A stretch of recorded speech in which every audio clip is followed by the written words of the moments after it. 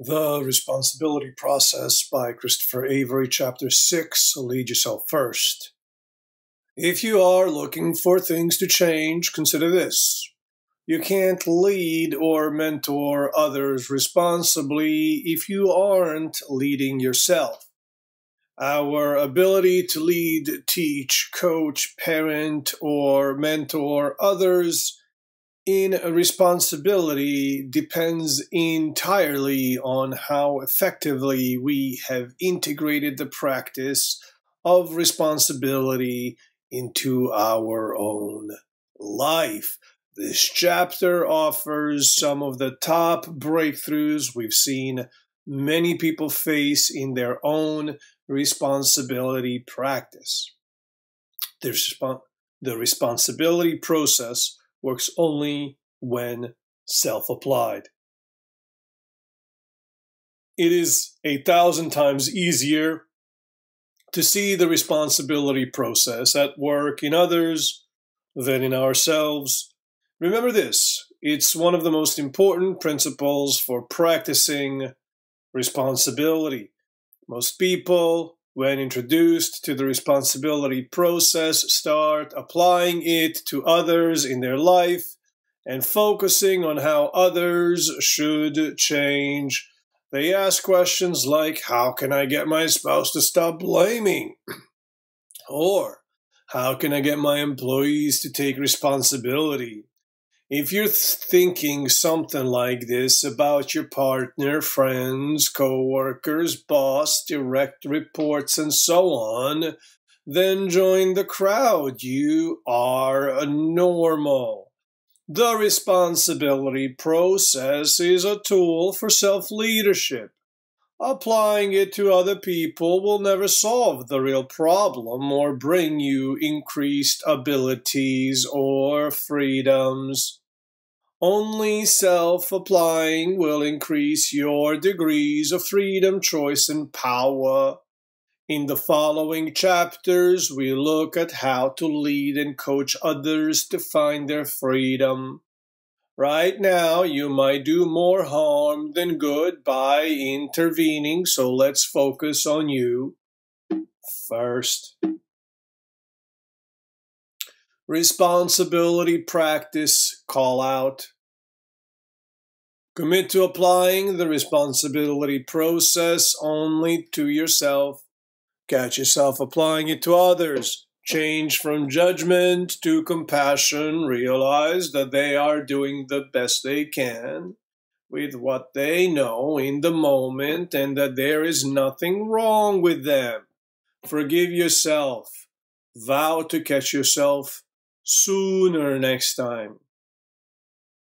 Wake up! The cultural trance is exposed. Our society treats personal responsibility as a moral imperative, as in being good or bad, right or wrong, or doing what you should or should not. We say to each other, You should take responsibility, which means you should be good and do as I expect. But we now know that responsibility is more than a moral imperative. It's the mind's framework for growing or not growing.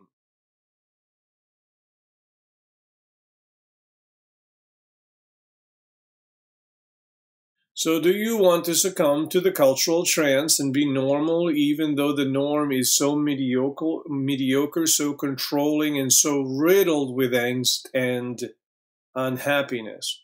Or are you instead willing to explore this new awareness, this gap between what you have grown up believing and what the responsibility process offers? If you choose the latter, and I hope you do, then remember responsibility no longer describes just your character, it describes your daily practice of freedom, choice, and power and you get to practice every day because the conditioning of the cultural trance is deep. Responsibility practice call out.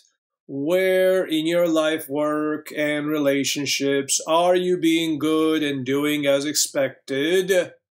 even though it's not feeling free, powerful, or at choice. Begin contemplating uh, what taking 100% responsibility might look like. Every upset is an opportunity to learn. Upsets tick us off. It's hard to read. Every upset is an opportunity to learn and think, oh, joy. So ponder this a little more. Upsets trigger the responsibility process. If you have dedicated yourself to a responsibility practice, then you know the game is to catch yourself copying.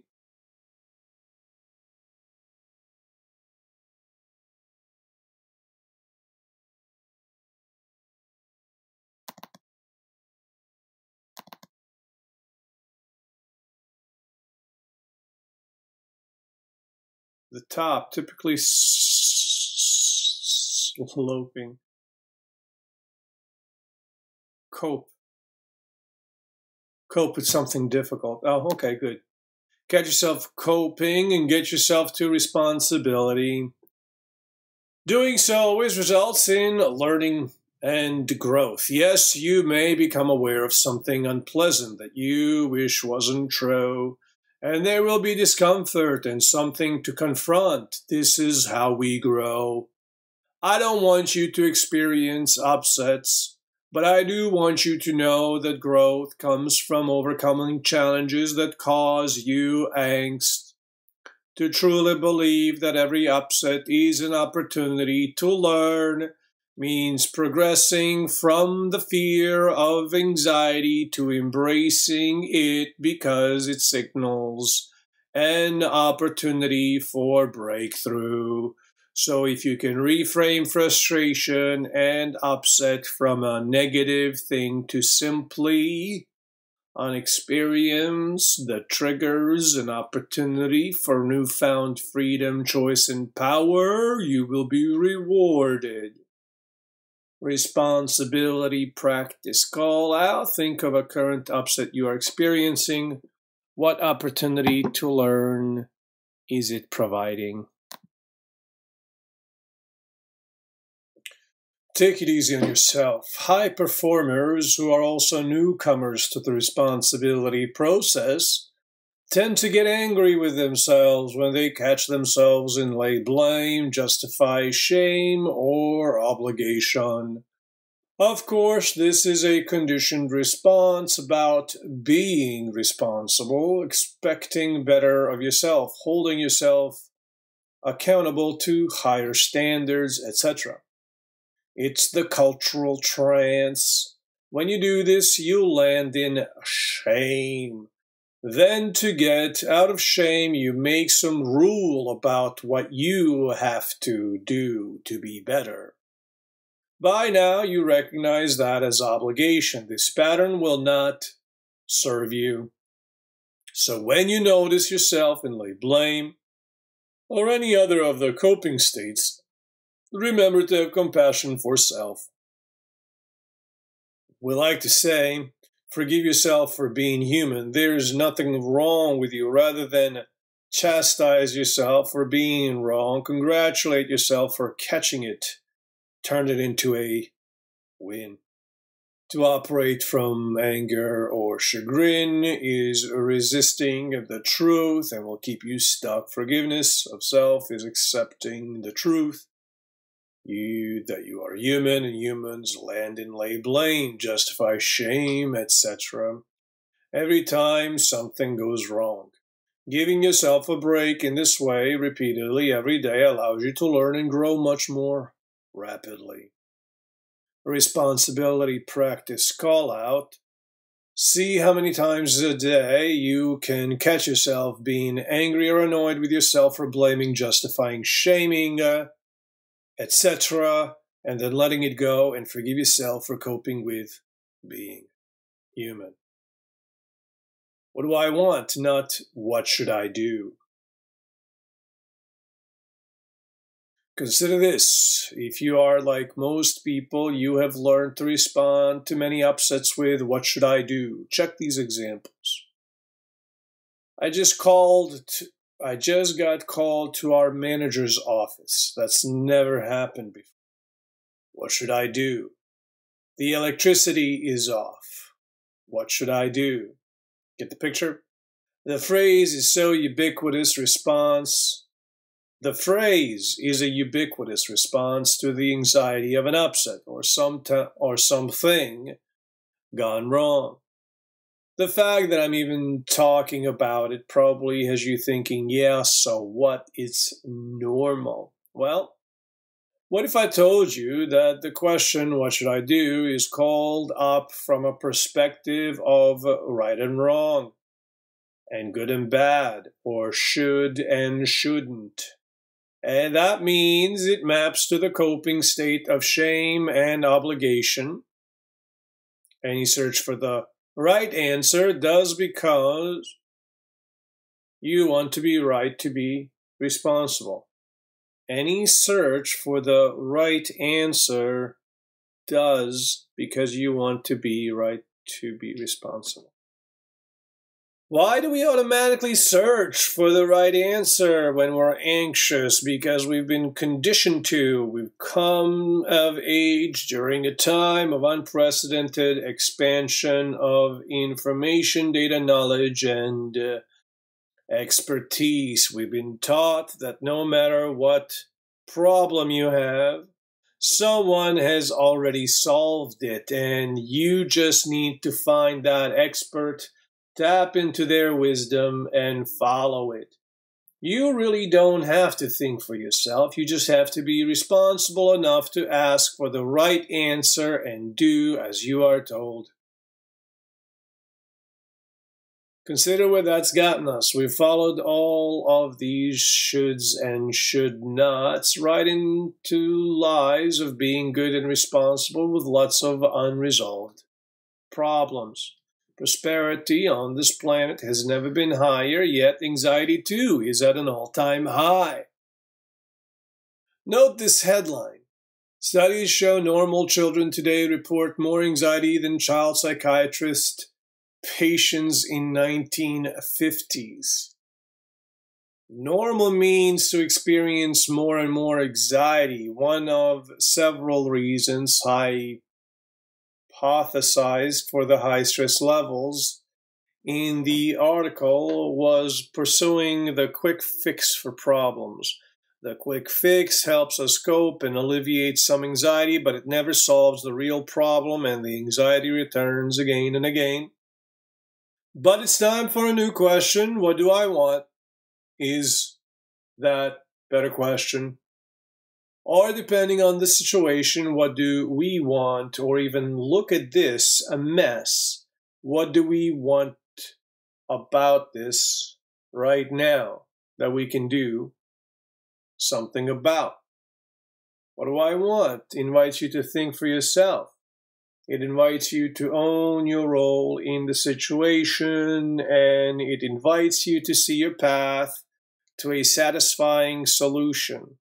Only asking that other questions, what should I do, lets you avoid thinking for yourself or owning the situation.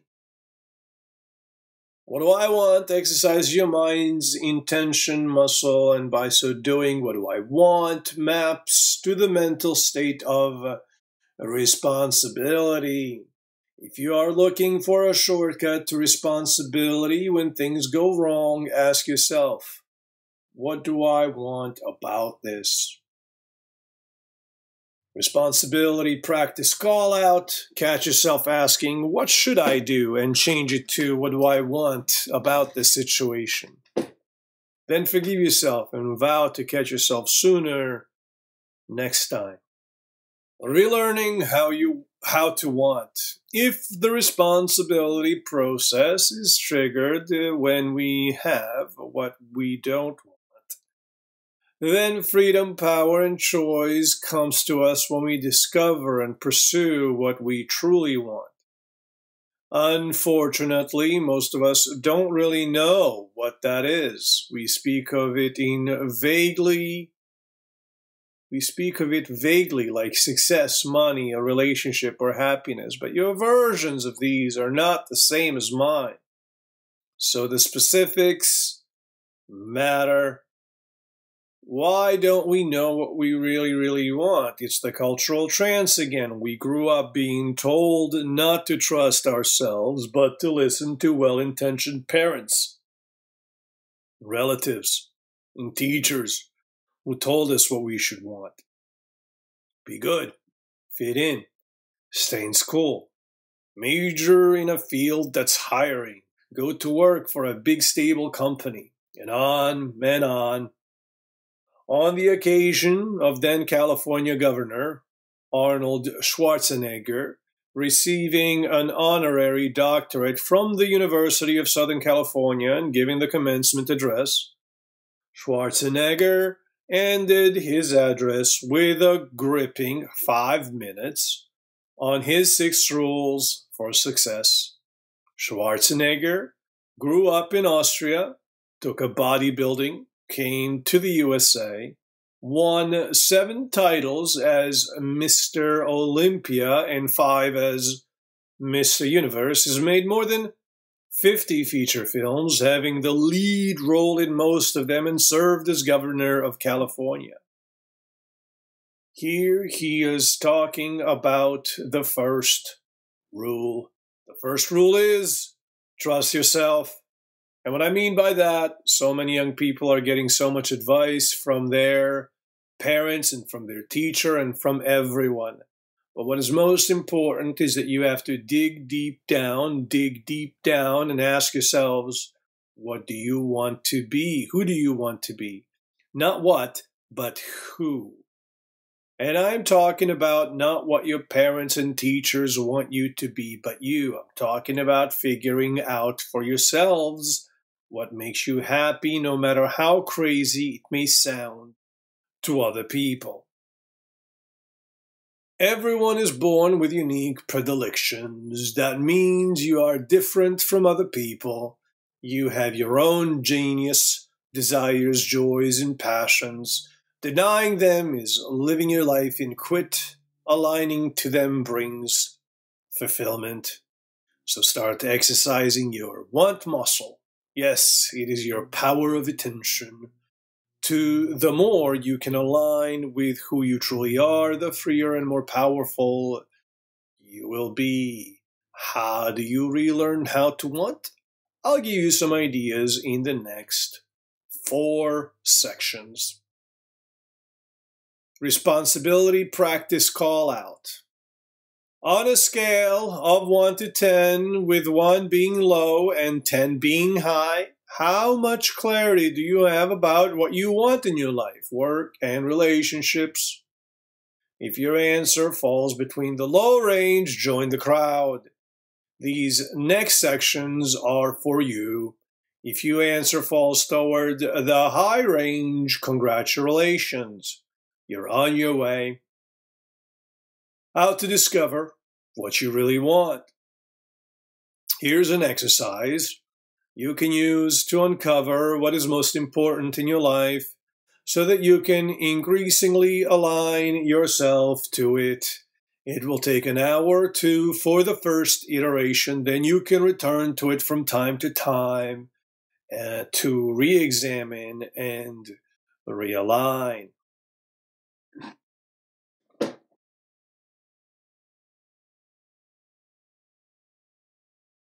Start by managing your energy and mood so you'll feel vibrant and alive while doing the exercise. For me, that would mean getting a good night's sleep, eating and hydrating well, and probably cycling 25 to 30 miles through the Texas Hill Country for inspiration and endorphins choose a supportive place where you can be undisturbed for a couple of hours. When I did this for the first time, I was on a cross country flight in a window seat with no one next to me. Looking out at the sun shining down on scattered clouds and the earth beneath them. It provided an expansive feeling. I imagined I was looking at my life from uh, 35,000 feet. The exercise involves generating lots of ideas, then working with those ideas. You can do this on a whiteboard, on paper, with sticky notes, or even in a text editor, word processor, outlining tool, or mind mapping app. Choose what feels supportive and creative to you. Step 1 Discovery. Begin by writing an exhaustive list of responses to this first question. Do not edit while you go.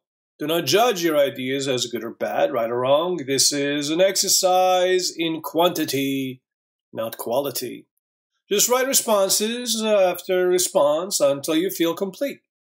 Here's the question What do you want to experience in your life in abundance on daily basis? Copy this question into your organizer or reminder file so that you can find it when you are ready.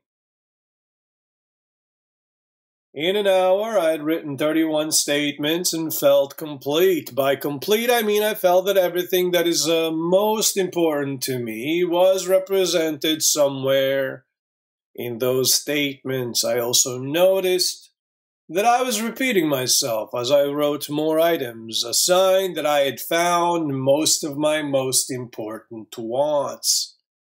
Here's the good news. If I missed something, or if you missed something the first time through, it will show up sooner or later. And you can revise since this is a living exercise and always open to revision. Here are a few of my statements Be a learner and a teacher.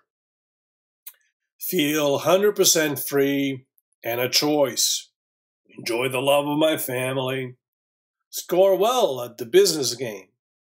Treat my mental and physical health as my most important assets.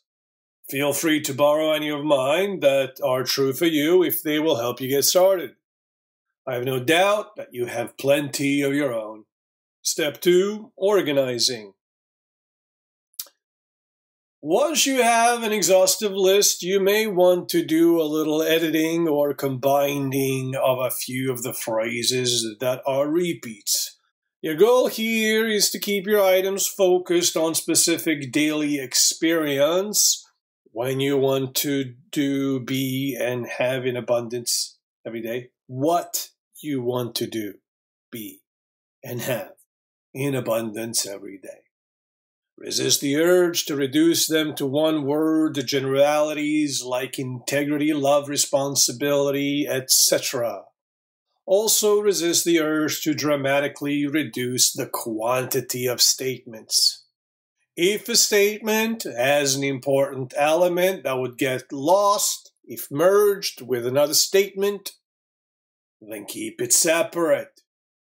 In my case, when I cleaned up my list of 31, I then had around 20 specific statements that represented what felt most important to me. Step three, ordering. Now it is time to discover whether some of the statements are more important to you than others. This helps you focus, prioritize, and simplify your choices. Here's how to do it. Ask yourself this question. If I could only experience one of these things in abundance on a daily basis, which would it be? That's correct, only one. I firmly believe you already know the answer at some level, if not consciously, then in your heart or spirit. So as you scan your list, just notice the statement that calls to you, that your eyes keep returning to, that you can feel in your heart or gut or wherever you feel it. Resist logic analysis and what society, your parents, boss, or spouse would say. What matters is what your heart says. Once you find that item, label it number one. Congratulate yourself for discovering it. being aware of such a deep intention is powerful alignment for your life. Then repeat the prioritization question, adding one to the number of things you could experience on daily basis. If you are guided by a religious or spiritual path, you can add that in by asking if God is so benevolent that I could experience two of these things in abundance on a daily basis. Which one would be next? When you find that item, label it number two, say yes silently to yourself to claim the win of aligning to a second deep intention. Then, when you're ready, continue to look for a third, fourth, etc. Once again, in this prioritization exercise, notice when you are feeling complete. In my case, after I had 11 statements, I was searching for a 12th. I felt a little tired and burdened. None of the rest stood out as adding anything truly meaningful to the 11 I had already prioritized. Then I looked at my list of 11 and asked myself if it was complete. The answer was yes. At that moment, I realized that if, if I were experiencing those 11 things in abundance on a daily basis, then I would also be experiencing the remaining items. Because they appeared now to be subset of the first 11, even though that was not apparent before I prioritized them, so I stopped on 11. Once you have prioritized the most important items into a list that feels complete, congratulate yourself again on the win. Express your gratitude for the discovery and enjoy the good feeling. Later, you can decide what to do with this list. Here's what I did with my list. First, as I faced this new prioritization of what I valued in my life, I had the shocking realization that I was living my life every day as if number 11 on the list were number one. Number 11 read score well at the business game. Number one read treat my mental and physical health as my most important assets. Fear and anxiety gripped me. I worried. But if I put anything else in front of earning a living, will I still be able to earn a living? And then I realized number 11 is still on the list. It is still very important to me. If I put it uh, in its proper place, then whatever happens must be what I truly want. This is an example of intention awareness confront, leading to a new insight that reveals a powerful truth. I intended to discover what is truly important to me. I did this, I did discover and then I realized my daily thoughts and actions were out of alignment with it. It scared me to confront what might happen if I realigned, and I faced that fear while looking for new insight, which I found. Over the coming months and years, as I put my life priorities in order, I was able to make a living just fine. In fact, better than I had before because I wasn't compromising 10 more important values to do it. The second thing I did was to print out the list and post it where I would see it multiple times a day. This applies all three keys to responsibility. Intention, I want to align my life and priorities to these 11 statements. Awareness, I grow increasingly aware of where I am aligning, where I am not, and confront. I ask myself, if I say this is important to me, why am I not aligned to it? Is it not true? Or am I afraid to trust it, thus resisting it? Or is something else going on? The third thing I did was to occasionally revise the list of 11 as I grew. After a few years, I realized that seven items on the list accounted for all the rest. Then a few years later, after that, I reduced it further. One final word about this exercise. You will notice that we asked what is important, and we ended up with a list of core values. Why did we start by asking, What are my values? Simple. Values is a culturally loaded term. If we ask, What are your values, you would likely come up with what society said you should value. Responsibility practice call out.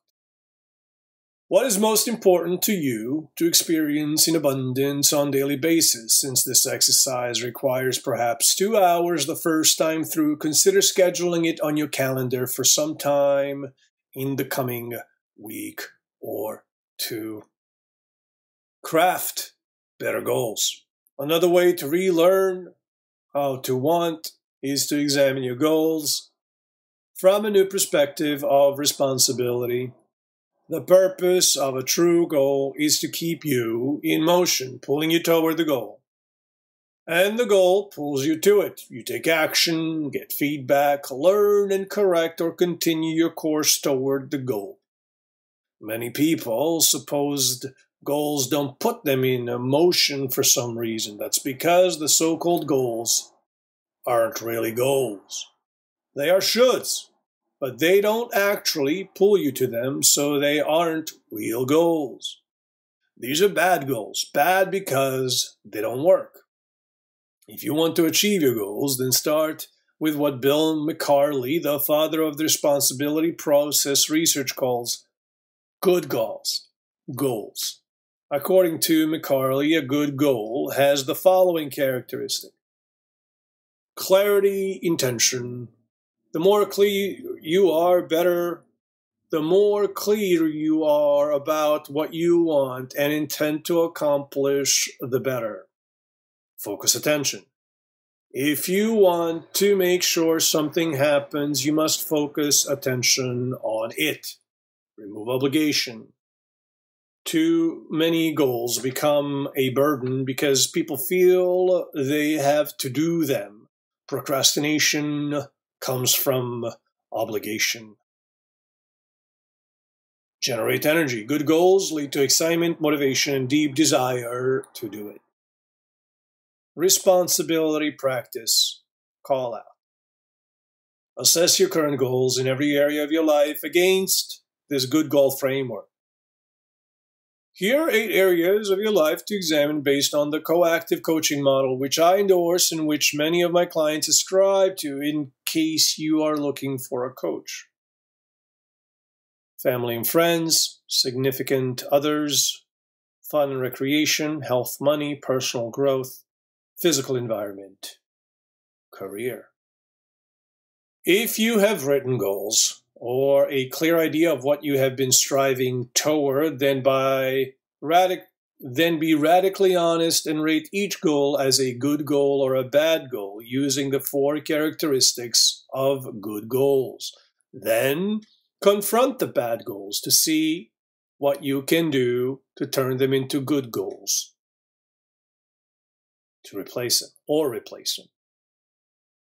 If you do not have written goals, or are not clear about what your goals are, then ask yourself what you are striving to achieve in one of the eight areas of your life listed here. As you discover what it is, write it in the form of a good goal. Take your time with this exercise. If it takes a week or a month or even a year to discover a good goal, it will be worth it. Beyond obligation. Listen to this story from Zach Nies, the entrepreneur I mentioned in the last chapter. At the time, he was chief technology officer at a successful startup, Rally Software. Zach wrote, Before studying the responsibility process and applying it to my life and work, I did not know there was a life beyond obligation. I just thought work was a necessary burden. Almost two years later, I can confidently say it has had a tremendous positive impact on my leadership and teamwork skills. Two years ago, I was struggling to find happiness leading a team of five people. Now I'm having fun leading a team of over 60 people. I am much more present and engaged at work in life, and I enjoy higher levels of teamwork, trust, and collaboration with others. Yes, there is life beyond obligation. I've heard Zach's sentiment repeated hundreds of times by others who have developed a responsibility practice. Many patterns in life and work may look like a burden to you, something in which you are trapped and don't see a way out. Just something you must deal with to live. If so, there is nothing wrong with you. This perception of cause and effect in life is one of the persistent emotional disease of so-called success. It is shared by billions of smart, educated, and well-intentioned people worldwide. But I want to end that. If your desire for a life beyond obligation is strong enough, then simply believe that it is available to you. Doing the exercises in this chapter and practicing responsibility daily will gradually allow you to confront what you currently may not be able to face. And that will lead to breakthroughs. Instead of giving into obligation, simply refuse to feel trapped, and then, and that will lead your amazing mind to find new choices. Once again, the Catch Sooner game will support you. Responsibility practice call out. Commit to getting beyond obligation to responsibility. Then every time you feel trapped or burdened or think or say, have to, don't want to, catch with your awareness. Remind yourself it is the coping state of obligation. Acknowledge that you intend to get to responsibility around this problem, that it could take a second, a minute, a month, or a year. Also acknowledge that you really don't have to at all. Instead, you are freely choosing to keep your commitment, even though you are not admitting it. Forgive yourself, vow to catch yourself sooner next time. When you do this, your mind will begin looking for a new solution. Clarify your needs, wants, and demands. Early or in most people's responsibility, early on in most people's responsibility practice, they encounter the confusion caused by three types of intentions their needs, wants, and demands. Getting clear on how you think about your intentions is a great source of personal power. Follow closely. Intentions defined as needs lead us to feeling of lack of scarcity. If I say I need a new suit, then my mind pictures that I'm lacking something. Needs are motivating, but in an anxiety producing way. Let's take an extreme example. When I was studying for a scuba certification as a teen, one of the exercises was to learn to clear my snorkel while someone on the side of the pool was pouring water in the top of it. Yes, regular access to oxygen is important to living. However, by practicing this snorkel clearing exercise, we were learning to remain calm and not panic when we experience a temporary absence of access uh, to oxygen. I was also a lifeguard, and I learned that the human body is nearly the same consistency as the water we swim in. Therefore, it takes just a little strength and skill to remain afloat. And that means that drowning while swimming is often the result of a person panicking when he gets a gulp of water in the airway. So we see that an extreme need induces panic. It is easy to see that a less extreme need is still defined as a lack, a scarcity. The more we define our intentions as needs, the more unnecessary angst we create for ourselves.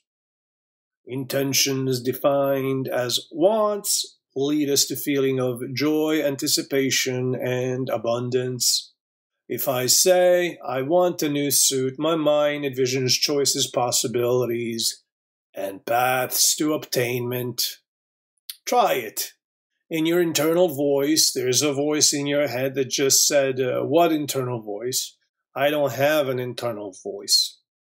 Make each of the following statements one at a time and then listen for your internal feelings and responses. I need to finish this report versus I want to finish this report. I need to go to the store versus I want to go to the store. I need a red Porsche versus I want a red Porsche. I need to find love instead of I want to find love. Some people who try this do not discern a significant difference at first. In fact, some people think it is silly, however, many others feel the difference right away. And the difference is remarkable. So, what is the takeaway? If you want to feel better, more joyous, more in charge, more free, then turn all your needs into wants. Think about it. Society teaches us to be needy we unconsciously say, I need, when we could say, I want. And a goal of consumer marketing is to introduce us to new needs we didn't even know we had, which make us feel like we lack even more. Try this mind trick. Tell yourself that science and religion each tell you that all our needs are met. Abraham Maslow says so with his hierarchy of needs. And the Bible, Quran, and other great texts promise that God provides. That means I have no needs, only wants. This frame reframe works. Now it is a catch sooner game to catch yourself saying, I need to lose weight and get in shape. Recognize this statement as an anxiety producing a bad goal and reframe it to I want to be fit toned, 130 pounds. Now that you understand needs versus wants, there's a one more type of intention to understand. Demand. A demand is something that will depress you if it is not pursued and met. As an example, Think of the spoiled 16 year old who throws a fit until you break down and buy her the $200 designer jeans she demanded because her life would be ruined if she had to show up at the party in anything already in her closet. You wouldn't succumb to such a demand from a teen. Good for you. If it is truly a demand of hers, then she'll likely find a way to earn the money for the jeans. Be careful of the demands you place on yourself and others, especially if the demands are superficial. If you demand to belong to the best club in town, drive the fanciest car, have all the best wardrobe, etc., but the economics of your life don't support that, then you will make yourself miserable. I've learned to be selective in my life demands. I have just a few. For one, I demand to experience freedom, power, and choice daily. The thought of not having that depresses me. For another, I demand to earn a living and support my family by doing what I love, which is studying and teaching how personal responsibility works in the mind. There was a point where I needed to earn a living, and I wanted to study and teach responsibility. But I was afraid I would not be accepted and would fail.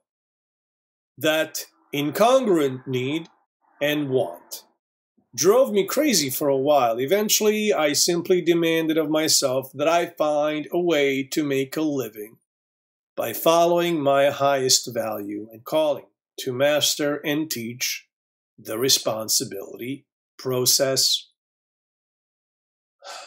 I won't kid you and say that from that moment it was a snap to earn the living. I wanted to provide for my family. There have been plenty of ups and downs, however, it has worked out, and I can't imagine a better and more fulfilling life.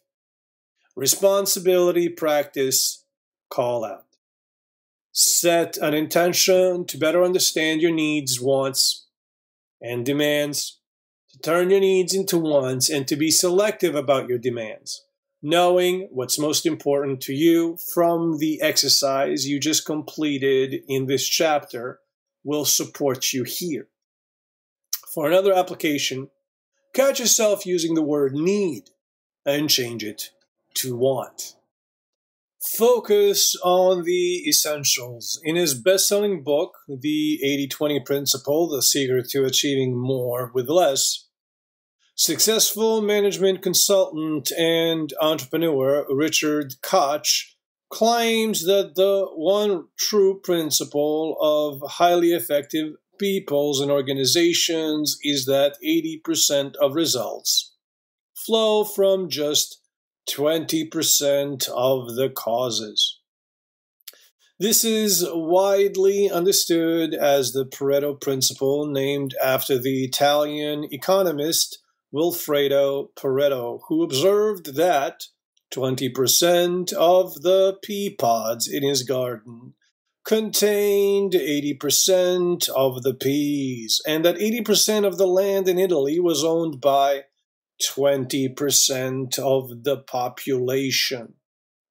Applied to business, it is often found that 80% of a company's revenues come from just 20% of the products, or that 20% of the sales force produces 80% of the sales.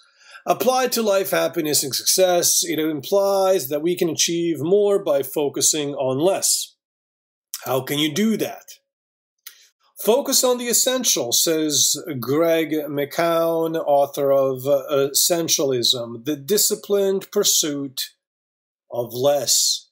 If you feel stretched too thin or overworked and underutilized, you are likely producing only 20% of desired results from 80% of your time, energy, and efforts. What does McKeown suggest? Decide what results you truly want to generate, then decide what is absolutely essential to produce those results, and eliminate all the non essentials. In his book, Anything You Want, Derek Sivers, the entrepreneur mentioned in the introduction, offers a fabulous exercise for identifying the essential and non essential in life, and it calls on the responsibility process. Here the step in my words. Step one identify all of your commitments. Make a list of every commitment, promise, initiative, project, goal, and objective in every area of your life. It can be a commitment to yourself or to another. Just write it down. Step two Sort your commitments into three columns. The three columns are no, yes, and hell yes. Since each is something you are already doing, you won't have anything in the no column at first.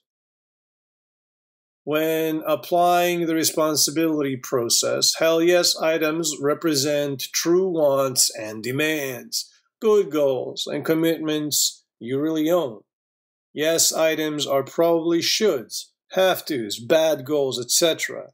If this step generates new awareness and, conf- and confront, then the exercise is working as it should. Step three, empty the yes column. That's right.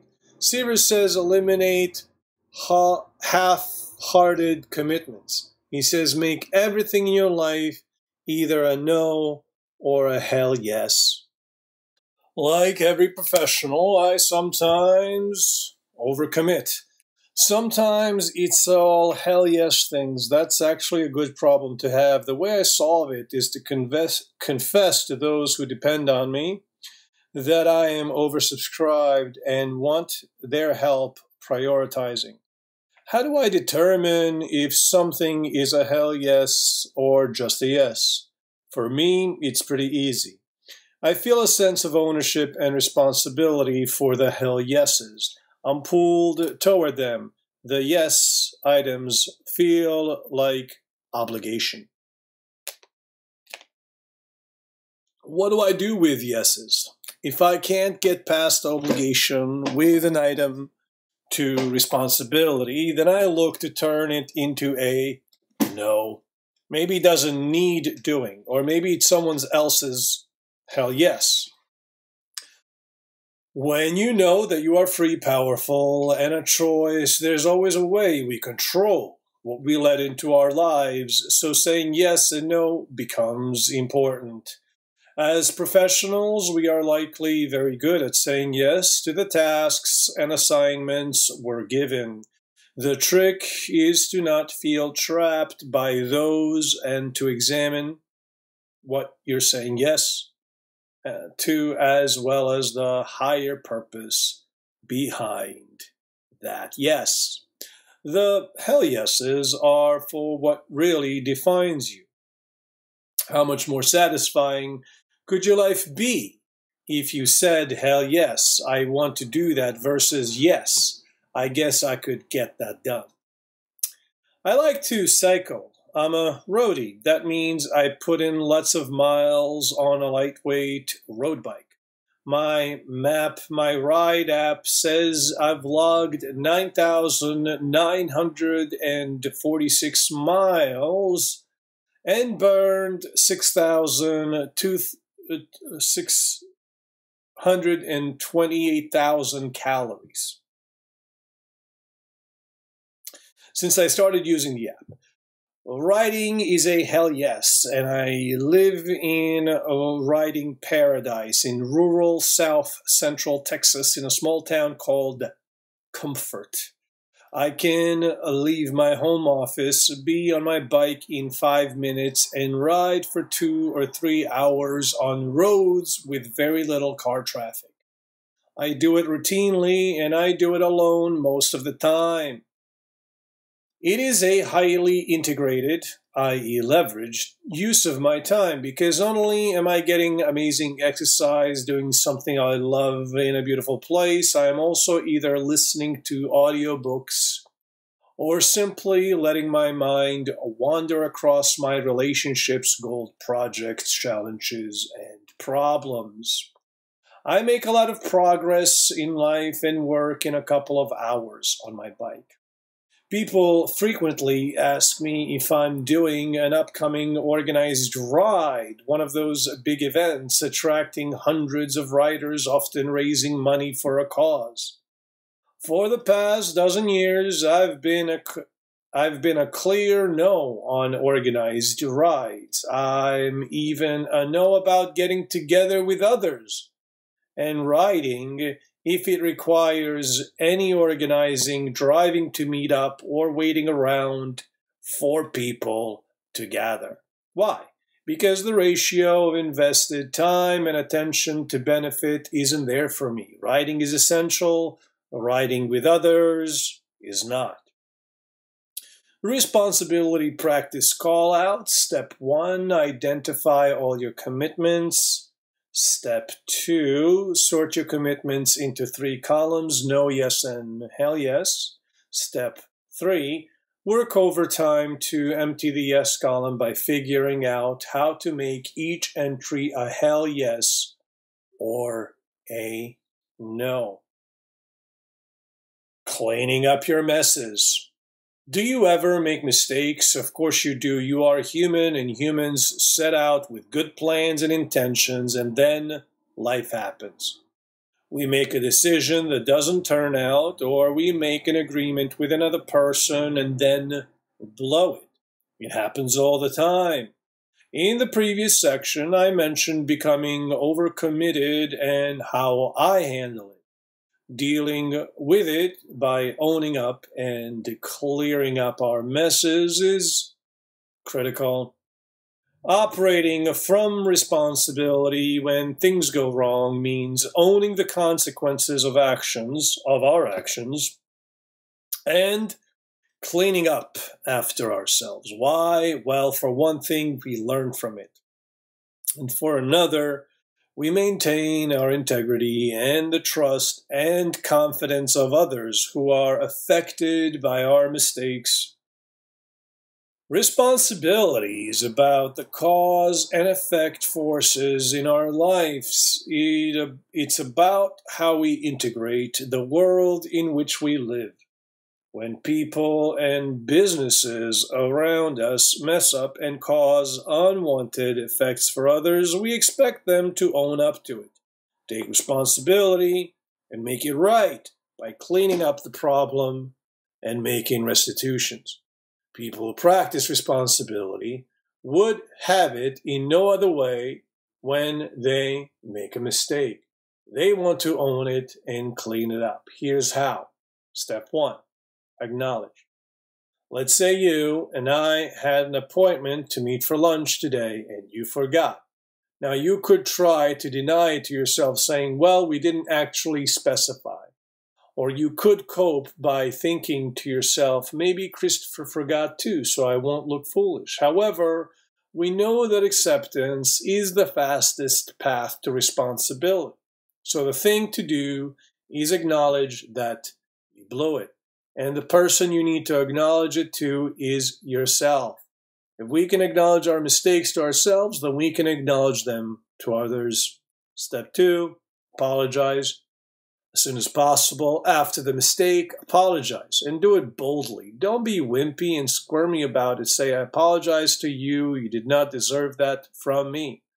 I don't need to tell you that humans can be really poor at apologizing. We say, if you were offended, then I'm sorry. How passive. That's a conditional apology. It's not owning what you did. The value of a clear and bold apology is that the affected party will more likely understand that you completely own what happened and will learn from it.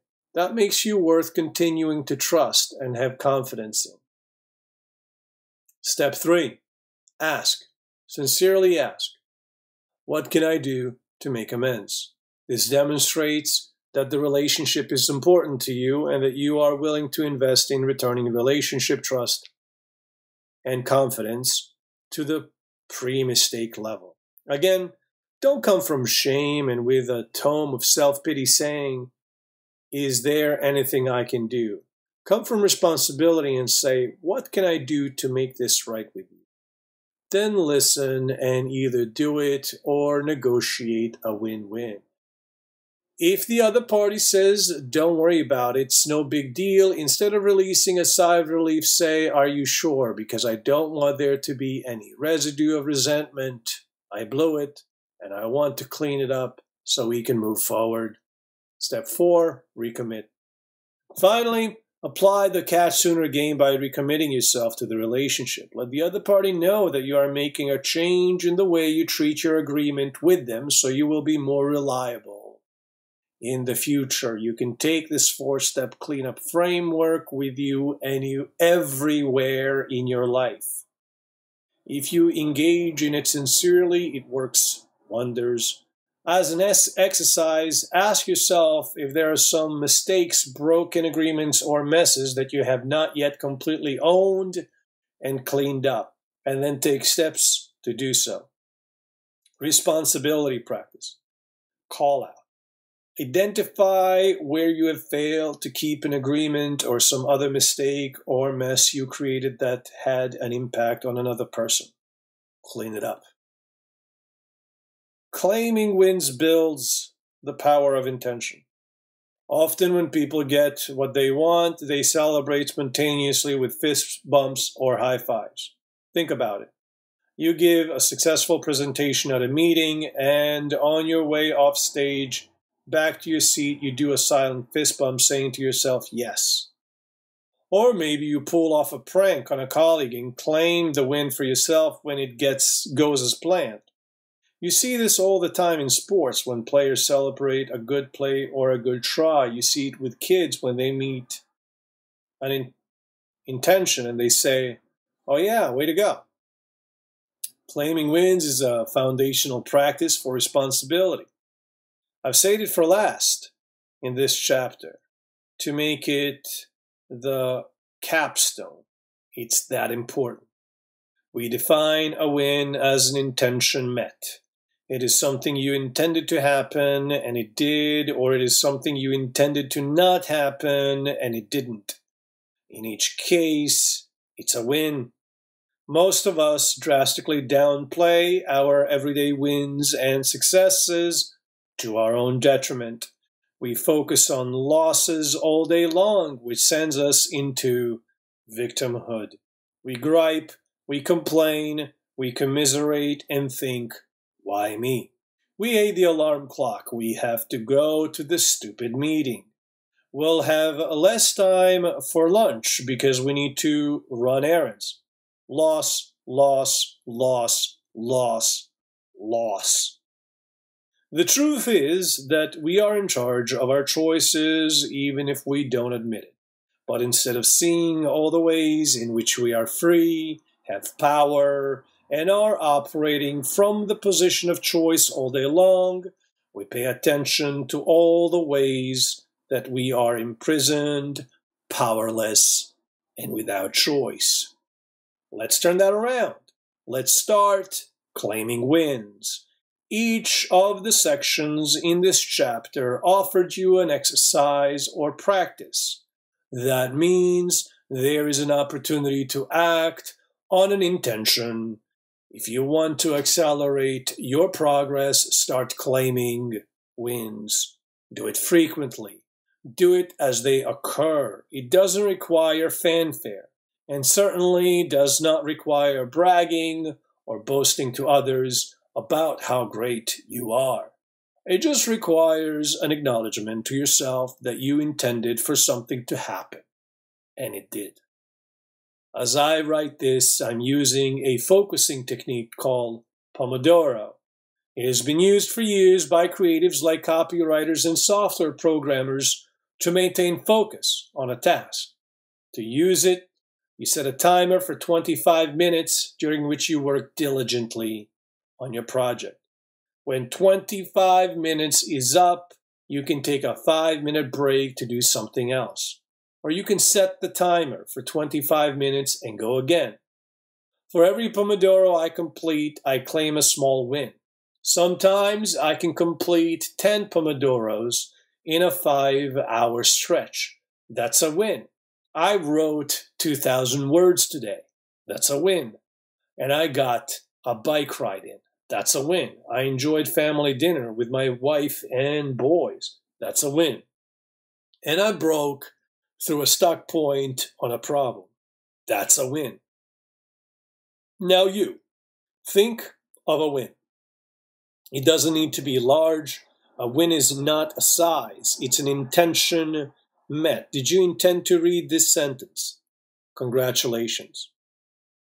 The more you practice responsibility, the more you will be the more you will be living intentionally, which means you will notice your wins. And the more you realize how much you are winning, the greater your desire will be to own your life. Here are a few tips about claiming wins. The cultural trance has us focused on losing rather than winning. When we start claiming wins, we think it's pretty it's petty or ridiculous or even boasting or bragging, so we edit our wins. Recently, while claiming wins with a team, a colleague said, I can't think of any.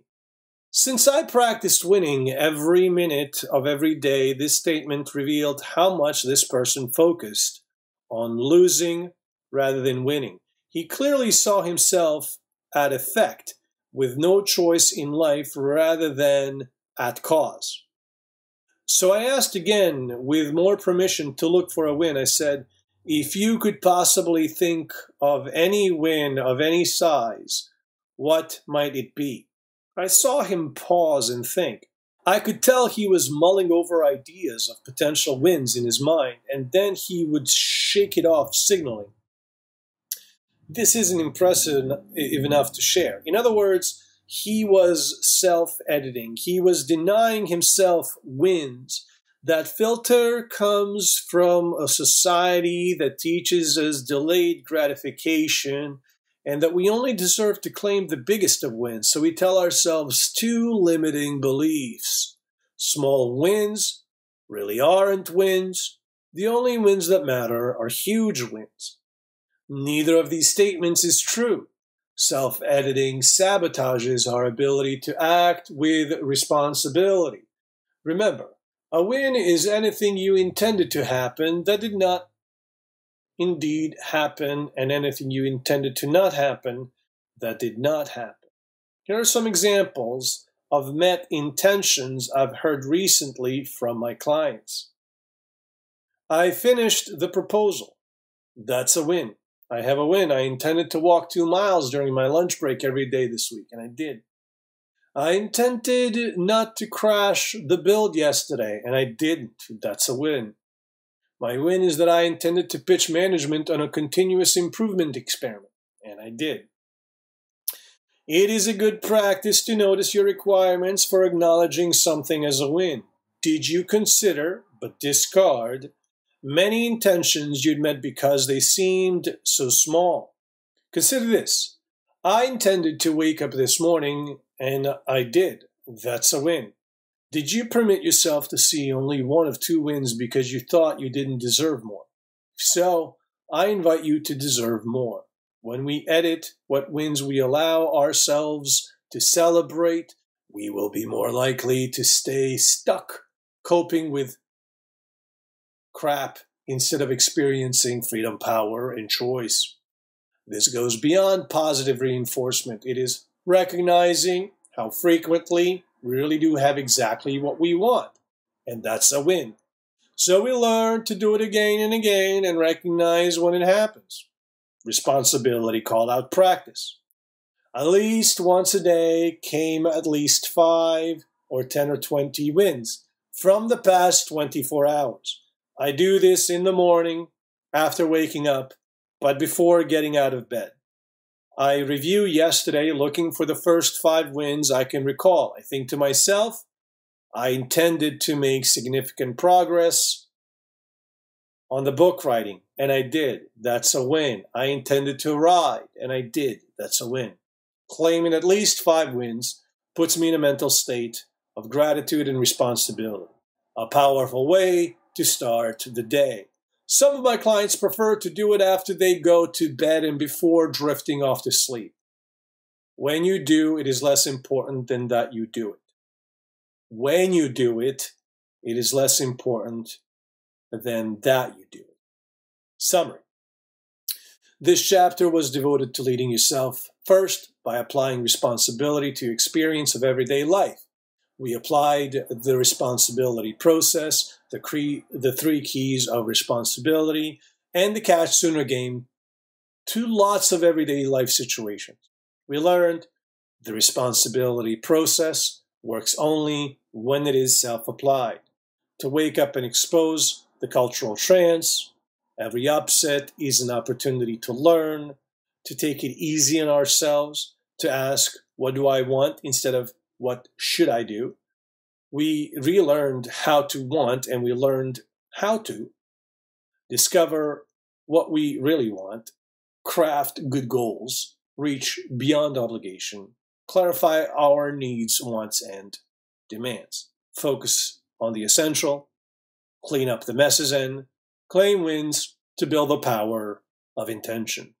In the next chapter, we raise the bar for relating with others as we explore how to lead from responsibility so others will step up to responsibility. And if you feel full with the practice from this chapter and not yet, yet re- and not yet ready to raise the bar, I applaud you. Focus on the most important practices from this chapter until you feel some mental energy to proceed to the next chapter. This was the reading of The Responsibility Process by Christopher Avery, Chapter 6.